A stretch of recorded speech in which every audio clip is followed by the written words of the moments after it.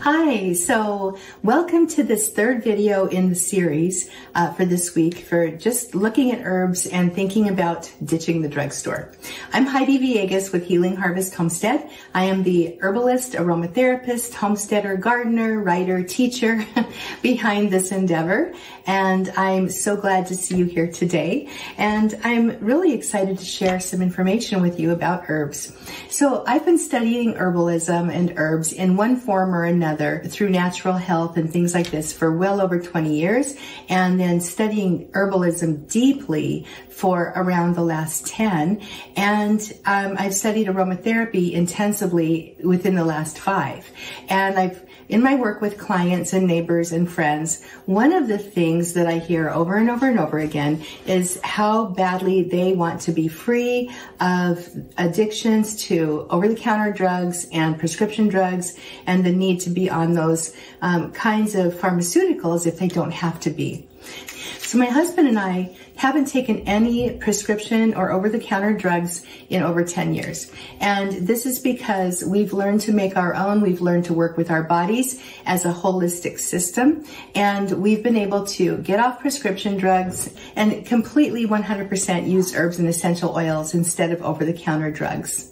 The exciting thing is, is that you can ditch the drugstore. You can feel better. You can get healed naturally.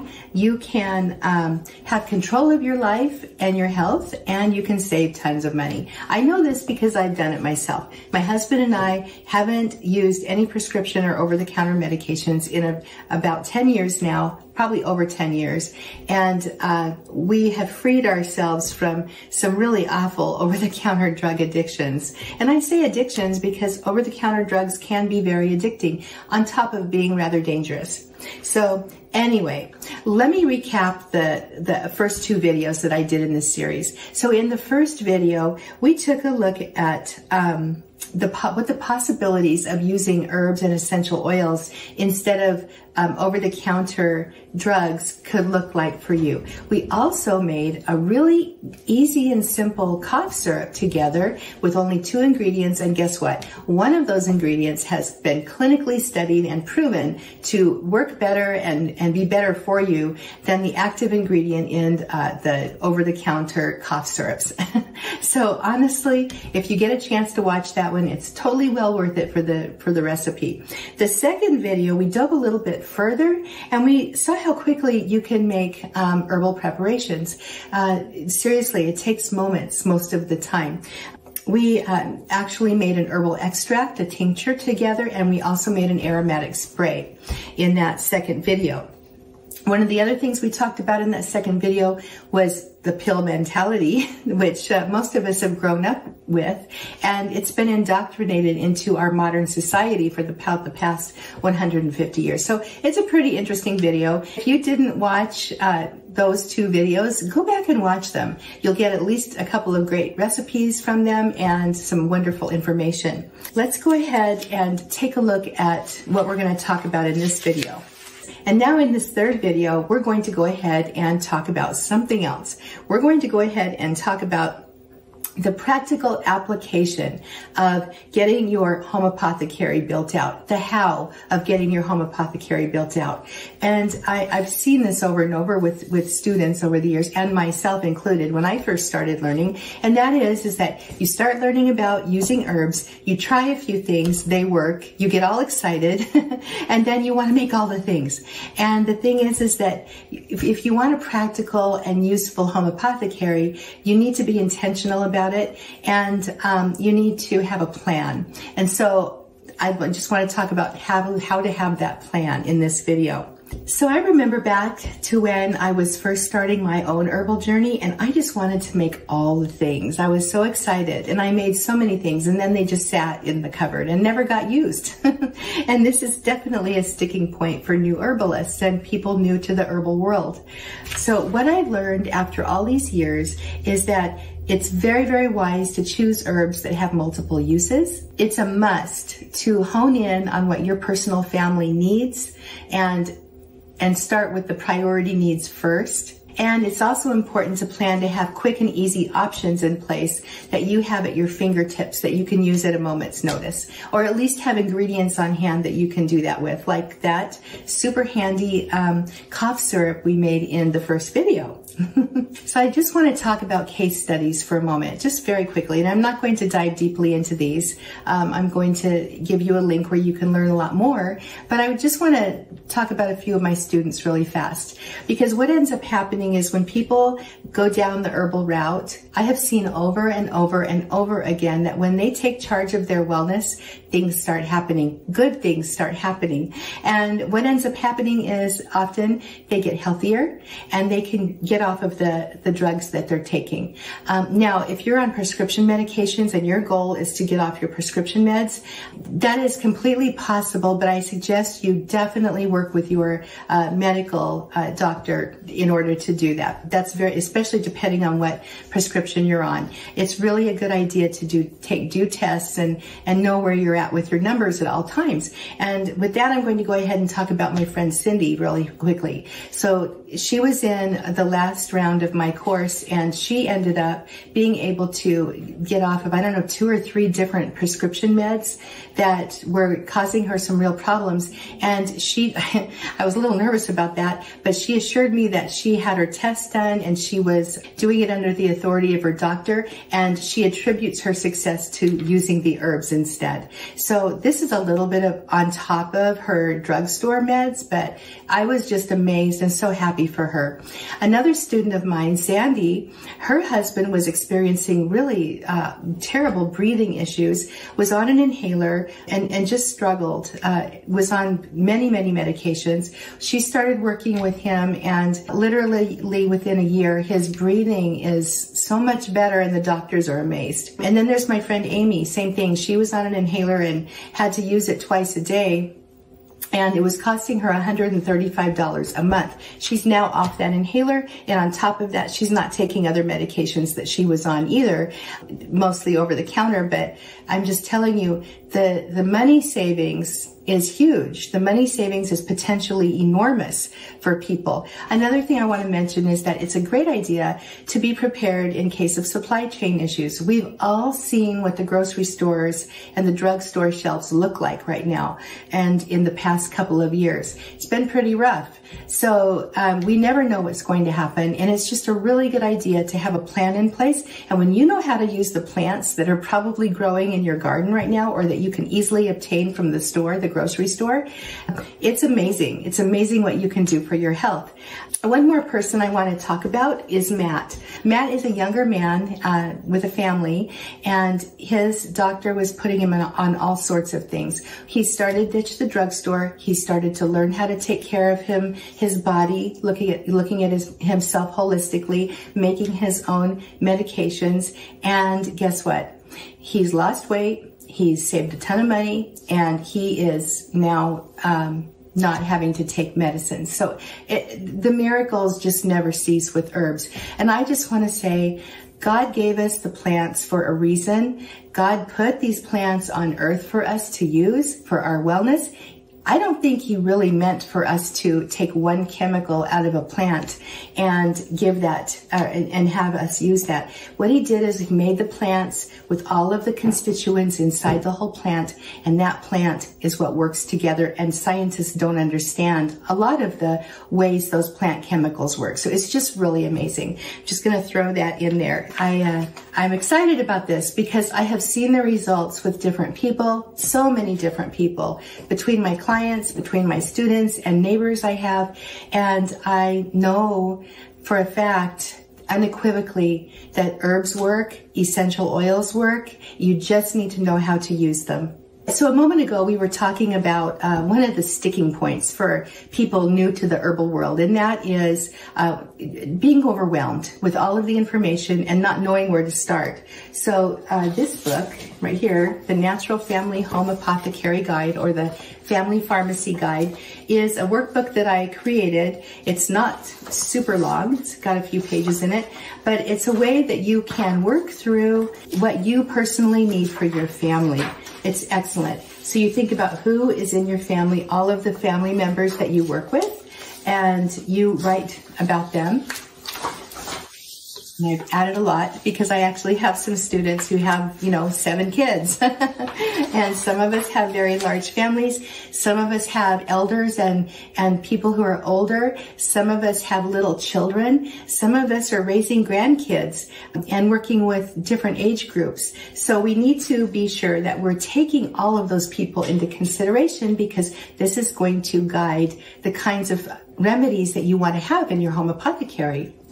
The next step is you are going to make a list of the desired items in the following areas. So you're going to think about pain relief, your respiratory system, and after the last couple of years, the respiratory system, as we know, is a big deal. Uh, we're going to take a look at sleep, stress, relaxation, and focus. So uh, things like if you have, if you're homeschooling a child and you've and you've got a little child who's having trouble focusing and concentrating and getting work done, um, there are things you can do for that. First aid and small emergencies. And I just want to say, as for sleep, sleep is one of the biggest things I get complaints about all the time. And uh, anyway, step three, this is where you're going to make priority decisions about where you're going to start. And I can help you with that if you have trouble but this is where you do a little journaling and you make some decisions and you nail down what it is you want in your home apothecary to start with, and then you can go on from there. Next up, you're going to organize your apothecary. So, so, many of these herbal preparations literally take five minutes to make, just like the ones you saw in the first two videos.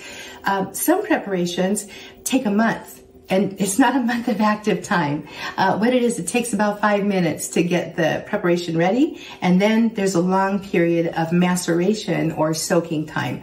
And within about four to six weeks, your herbs are going to process and be extracted into the solvent that you choose, and you're going to end up with this amazing product that will last a long time, sometimes decades in the case of tinctures, and you will have them ready to go on your on your shelf. It's amazing. Uh, step five, reference cards for your remedies. So you're also going to have access to these handy reference guides that you can, um, you can print as many as you want of these, but you can basically keep track of your bottles and your jars and things like that, and uh, who you're using them for, what the shelf life is, the dosages, which I help you with as well, and all of that good thing. So before you, my, the point of all this is that before you start working with herbs, if your intention is to build a workable home apothecary for yourself and your family, is to have a plan. You must have a plan because otherwise you will get frustrated. and and at, at some point, because I see this over and over, it happened to me too. At some point, you're gonna go, I can't learn all this. If there's just too much, it's it's uh, something else again. But if you have a plan and you've if you've got somebody um, holding your hand along the way and helping you, it's really easy to get it done, literally within six to eight weeks. Okay. So next up, I'm I just want to go over some of the um, the biggest questions that people have about this. So one of the first ones I always hear is that people don't have time. People don't have time to do this. They don't have time to learn it. And I'm just going to say right here, you saw how fast it was to make those herbal preparations in the first two videos. It was literally minutes and you've got some really great remedies. The other thing about it is, is that you don't have to spend time going to the grocery store or the drugstore and standing in front of those massive shelves filled with concoctions of chemicals and wonder which one you should take for your child or for yourself if you're sick because you'll have it on your shelf. You'll have your own homemade remedies right on your shelf. The thing is also about the time is this course that I'm about to tell you about, Ditch the Drugstore, is basically going to fast track you to get that home apothecary ready within a short period and condensed period of time. This uh, herbalism class is actually going to lay out all the herbal foundations for you, and it's quite intensive if you go through it with the group, which you don't have to. You can go through it on your own too. But I'm there to hold your hand for you and be there for you in the student group and answer your questions, okay? So that's just a fact. And the time factor is minimal when you have some help. Next up, I hear this from people. I don't have the money. and first off, when you look at how much money that you save on the, the stuff you go and buy in the drugstore, the pain relievers, the sleep aids, the menstrual cramp aids, the, my goodness, the first aid stuff, ointments, uh, pain relieving salves, uh, you name it. You know, it's, there's so much. Energy drinks, uh, for Pete's sake. You know, it, it's incredible how much people spend and they don't even realize it. I sat down and thought back to when I was basically working still in teaching. I taught for 30 years before I started this business and I, and this was before herbalism, so it was a long time ago. And I was thinking back to about how much money I spent a month for our family. And our family at that time was a family of five, uh, three kids, and uh, two adults, and it was right around $500 a month. And, and I, I sat there for a minute once I thought about that. And I, that was at those days prices, by the way. That was like 20 years, 30 years ago. So looking at a massive increase in inflation on the prices now. But the fact is, is that had I known what I know now with my family back then, I would have saved thousands a year. And so when it comes to the money, this is a money saving endeavor. Okay. The second thing is, is that a lot of the preparations don't cost a whole lot to make. Um, the onion honey cough syrup in that first video, it, it's pennies. It's pennies. So what you're doing here is investing in yourself. You invest in your education, you invest in your learning, and you invest in a few herbs and essential oils, and you get your things together and you're set. It's a, it's really really something else again. So really, if money is a problem, then money should be a non-issue because it's very likely you're going to save so much more than you're spending. Another question that I get is fear. It's related to fear. So many people are, and in fact, I got a letter just the other day. A, a, lady wrote to me and she's told me, she goes, I shy away from natural remedies because dosing is hardly ever mentioned. Well, that tells me she's afraid to take too much or too little or ultimately people are afraid of poisoning themselves or others with herbs. And the fact of the matter is, is the chances of you poisoning yourself with an herbal preparation uh, that you create yourself are pretty slim like slim to almost none.